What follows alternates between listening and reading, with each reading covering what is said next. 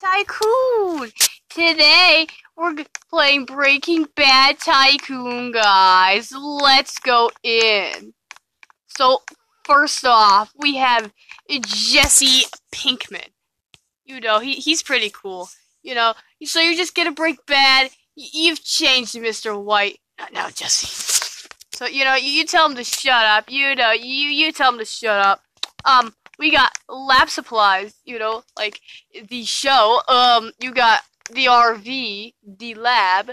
You got uh, Gustavo Fring.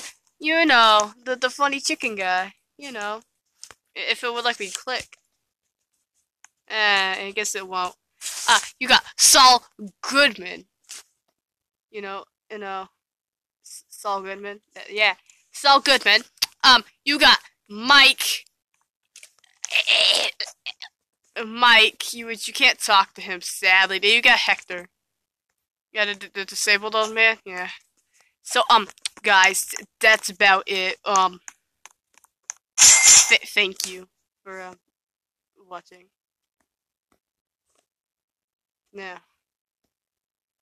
Say my name.